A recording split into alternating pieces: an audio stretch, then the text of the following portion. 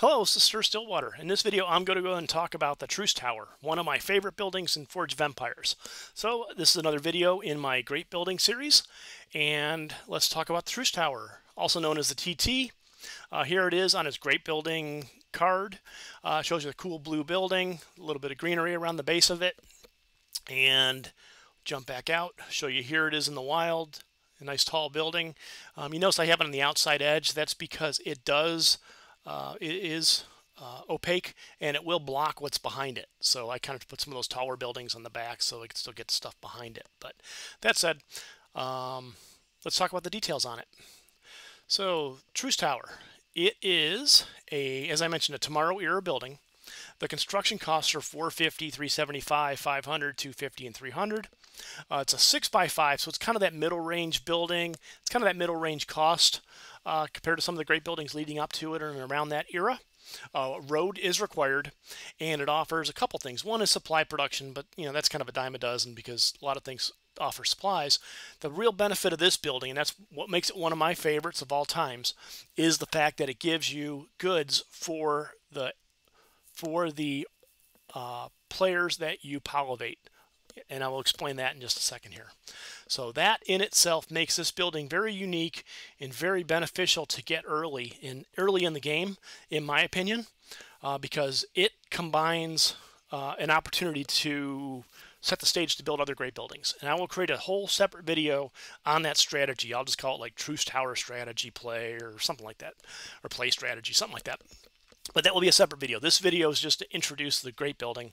Um, and then when I create that video, I'll put a link down below to go to that also to speak to that. But I'm not going to go that deep into it right now on this video here. But uh, we will talk about what it is and kind of explain how it works. So 24 hour collections, yeah, same deal. You get supplies. Um, that's pretty common with a lot of buildings that offer supplies. Uh, but what this offers is goods. Um, goods from the person or the player that you polivate, meaning you either uh, you visit them, you either polish them or motivate them, whether you do it manually or if you do auto aid or whatever it's called now. Um, every day you'll get a little collection clock. It will show up here, it's kind of similar to your number of whatevers.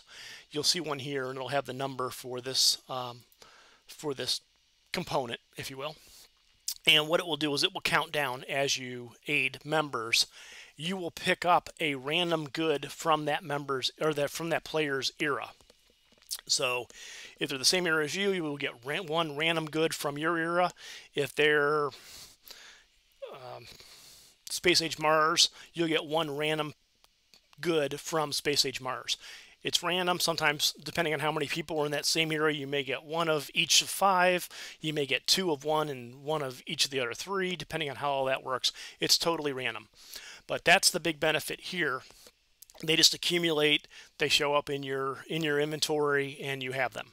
I will speak in the other video what I do with those and how those have helped me in this game. And a little hint, a little teaser is that with the market, with doing some two for one trades, goes a long, long way. Um, so that having some higher member level players helps you really kind of compound that uh, but strategy. But we'll talk about that in a whole separate video. But that's what we have to has to offer here. So at level one, you're getting 12 goods from your contributing era. So let's say you're in a guild, you get some high level members, you're to start picking up some random goods out of their era. Uh, let's say you have some real super high level friends in the Friends Tavern and you start over there instead. Um, you'll be picking up some of their high, super high level era uh, goods. Um, also, let's say you just want to do your neighborhood because you want to find things for your current era that you need for your day-to-day -day play. Not, let's say you're not pursuing great buildings and you just need stuff to unlock the research tree, you could do that as well. So very versatile on what you can do here. So again, level one, very cheap to build. Uh, seven. I mean, really think about it. For a Tomorrow era building, it only costs 70 FP to unlock level one. I mean, that's that's that's cheap, um, in my opinion. Um, of course, this is all my opinion. okay, level level five. If you look at level five, it costs you 380, and then your aid goods, you're getting 27 um, goods per day in the in this collection. And at level 10, you get 39. Level 11, you get 40. So either way, it really all adds up. You multiply that times a week. I'm not going to do that math in my head, but let's say you do 24 times 7. So what's that? 7, 14, 140, call it 160, 170, give or take, goods per week of random eras. That's a lot of production that you literally didn't do anything for, and you didn't spend anything for, and you just passively collect it as part of your daily collections. So that's why it's one of my favorites. Um, that's it. I'm going to kind of try to keep this one relatively short. As excited as I can get about Truce Tower, I could talk about this building all day long. so thanks. Let me know what you think about it. Um, are you all amped up about the Truce Tower like I am, or is it one of those give or take buildings you care really less about?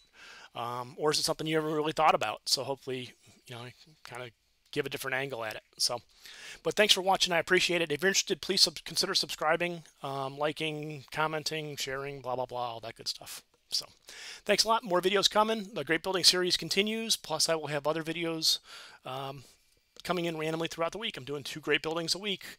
They release on Wednesdays and Saturdays at noon Eastern Time. Thanks a lot. Have a great day.